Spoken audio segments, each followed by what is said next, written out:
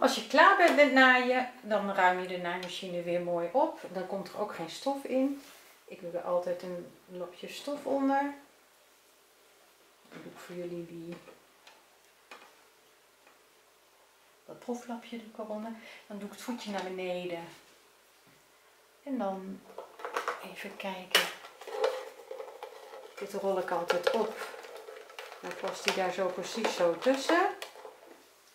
Het gaarklosje moet er even af. Als je daar nog weer mee verder wil naaien, doe ik hem altijd even zo. Dan hoef je hem niet helemaal hier uit te halen. Die naar beneden.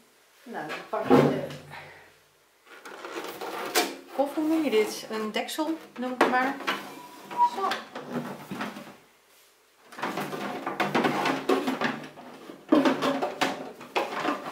Doe eens even omhoog, dat is makkelijker. En dan kan je hem zo opruimen.